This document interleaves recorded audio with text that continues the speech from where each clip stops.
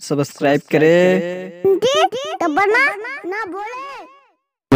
के हवाले करके मदीने शरीफ की सरहदों से गुफ्तगू करने का इरादा लेकर आने वाले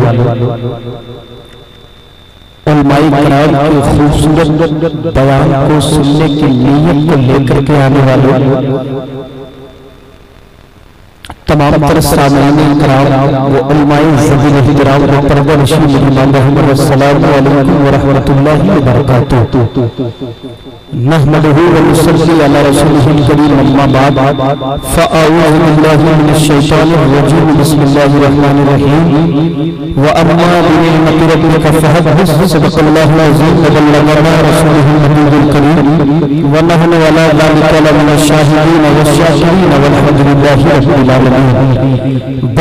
इलाज कमालिही कशफत तुजात जमालिही हसनत खिसालिही हज़रत शेख साली को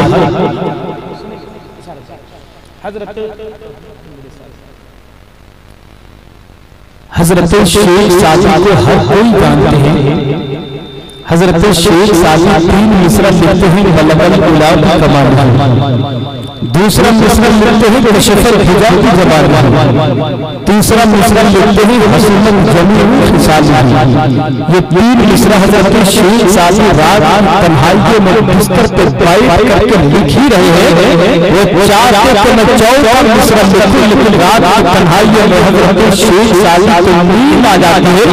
और नींद आ जाने के बाद हज़रत शेख साली सो जाते हैं। तो सो जाने के बाद खाब में मेरे सरकार तशरीफ़ लाते कहते शेख साली ऐसा आपने जो तीन मिसरा लिखे जो मिश्रा मुझे आप सुनाए मेरे माँ बाप आपके कदमों पे कुर्बान।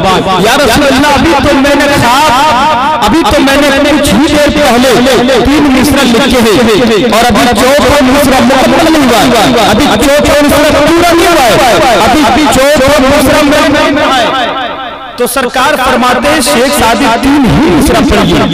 हज़रत शेख सादी पढ़ते हैं बलगन गुलाब का मालिक दूसरा मिसरा लिखते हैं कशफर फुजा की जमाली तीसरा मिसरा लिखते हैं, हसनत ज़मीन सालिही तब तक मेरे मेरे सरकार मुस्कुराते हैं और मेरे सरकार फरमाते हैं, शेख सादी इसमें हैरानी की क्या बात है? आगे लगा दो सल्लल्लाहु आगे लगा दो सल्लल्लाहु अलैहि व आलिही और मेरे सरकार इरशाद फरमाते हैं। है, मैं उस गुलाम का चेहरा भी पहचानता हूँ आवाज़ को भी सुनता हूँ।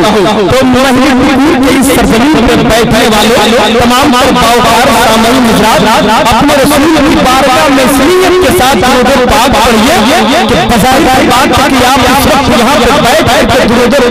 रहे हैं और ये हम हमनियों का है कि में आराम फरमाने वाले आका, हम सब लोगों को देख रहे हैं लोगों की आवाज़ दूसरा एक बार पूरा मजमा पढ़िए अल्लाह रब्बु मुहम्मदिन सल्लल्लाहु अलैहि वसल्लम नहनु इबाद मुहम्मदिन सल्लल्लाहु अलैहि वसल्लम।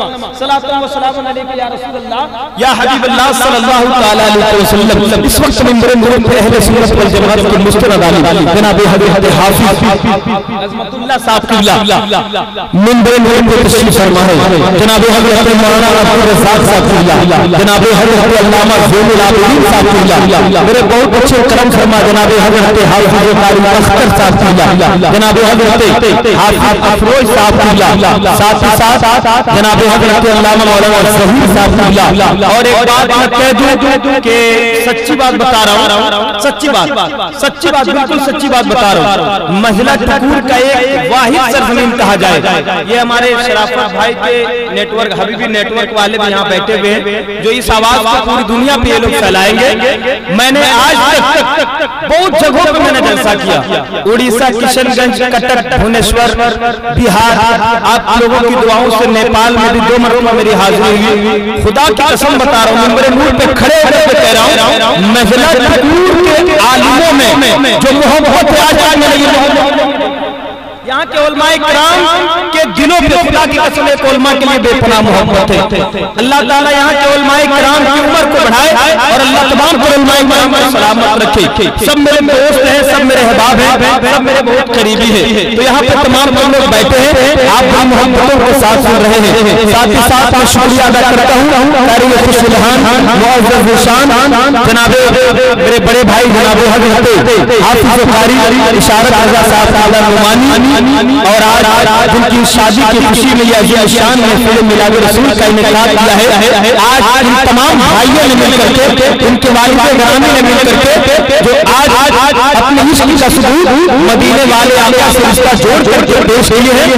करीम की बारगाह में दुआ करता हूँ कि अजीम शान मिलाद रसूल ये अजीम शान कॉन्फ्रेंस अजीम शान जलसा आपको अपना अपना अल्लाह अपनी बारगाह में अता फरमाए। आप सब कह दीजिए आमीन। आज बड़ी मोहब्बत मिल रही है और आज कई दिनों के बाद इतना खूबसूरत साउंड भी मिला है।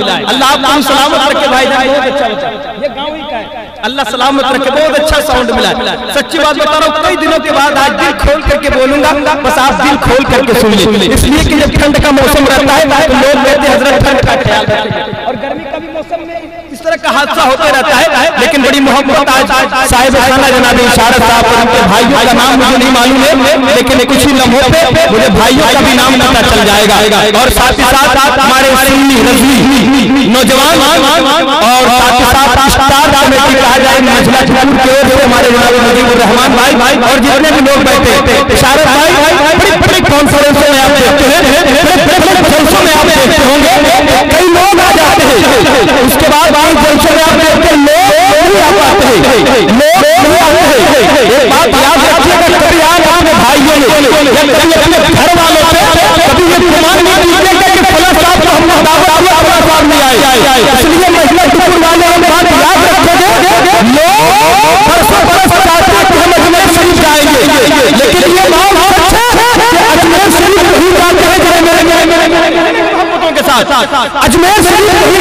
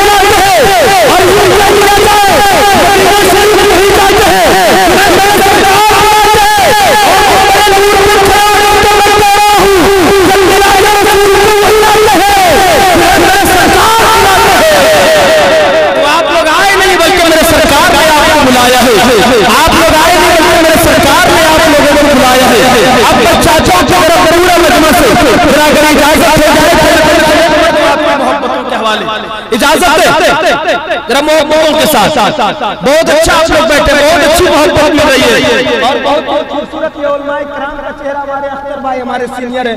अफरोज भाई हमारे सीनियर है और हमारी शारद भाई जब पढ़ाई के दौरान हाफिज जमशेद साहब किबला कहा करते थे कि आप ऐसा कीजिए अभी मेरे पास वक्त बहुत कम है इनको आप सबक सुना दीजिए। तो वो सबक सुनाने के दौरान निकालते थे। आज तक मुझे वो याद है, लेकिन ये मोहब्बत है। अल्लाह इन्हें सलामत रखे। हरदम मैंने इनको अपना बड़ा भाई माना है, और जब तक मेरी ज़िंदगी रहेगी ये मेरे बड़े भाई है। अब मैं चाहता हूँ कि महिला सरजमीन पे मैं पढ़ूं, और महिला टुकुर वाले नौजवान वाले कहेंगे ये क्या है में।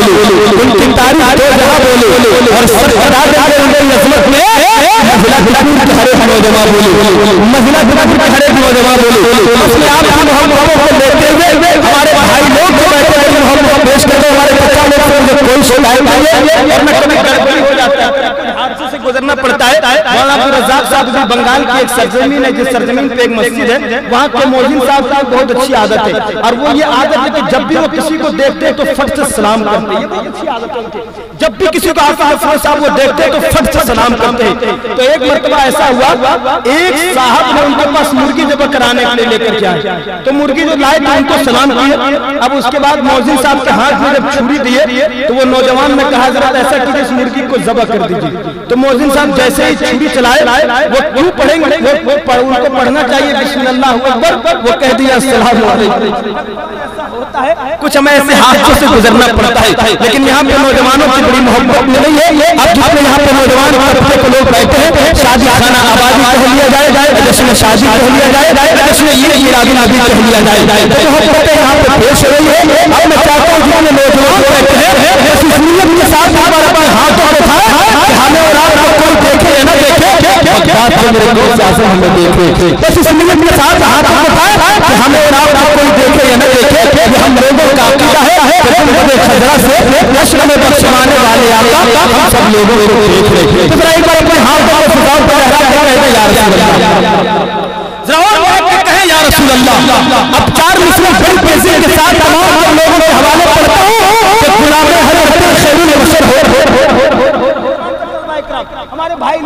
बैठे। मोहब्बत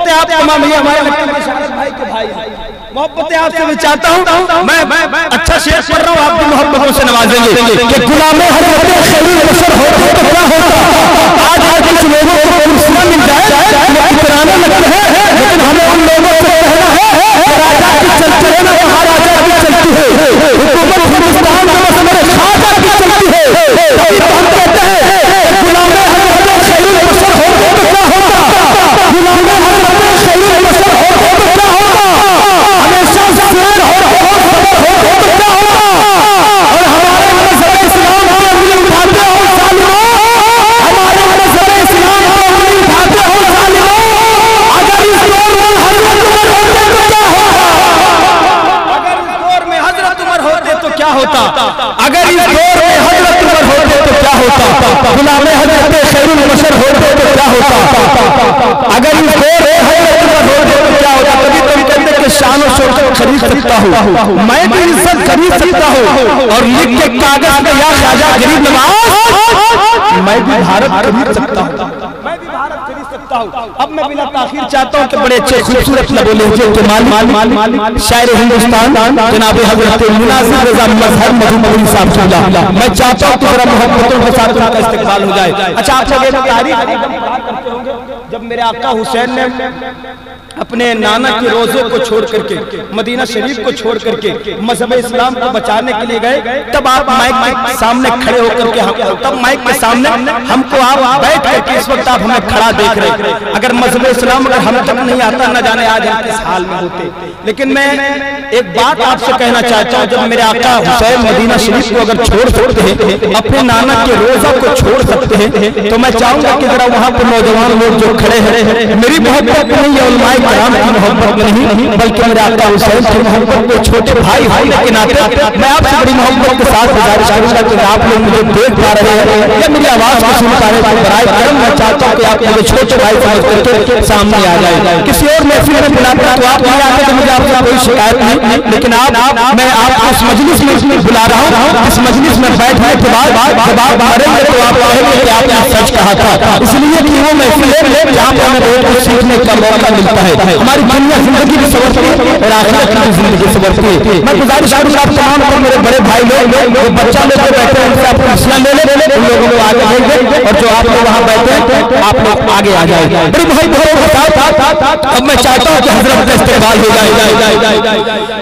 पीछे आगे के यकीन बुझा के सोते हो मगर नसीब की शम्मा जला के सोते हो वो हर रोज खाब में जन्नत को देख रहे होंगे, जो अपने माँ के पाँव को दबा के सोते हो जो अपने माँ के पाँव को दबा के सोते हो और ये कह लिया जाए इबादतों का करीना दिखा के ले आओ, वहाँ से खुद का सीना दिखा के ले आओ। मेरे करीम इतना नवाज़ मुझको मैं अपनी माँ को मदीना दिखा के ले आओ मैं अपने माँ को मदीना दिखा के ले आओ अब मैं चाहता हूँ कि मेरा ये नौजवान कमेटी लोग जो यहाँ पे बैठे हैं। मैं चाहता हूँ कि सरदार साहब इस्तेमाल करें कि आपकी आवाज़ को सुन करके और लोग की आवाज़ सुन जाए।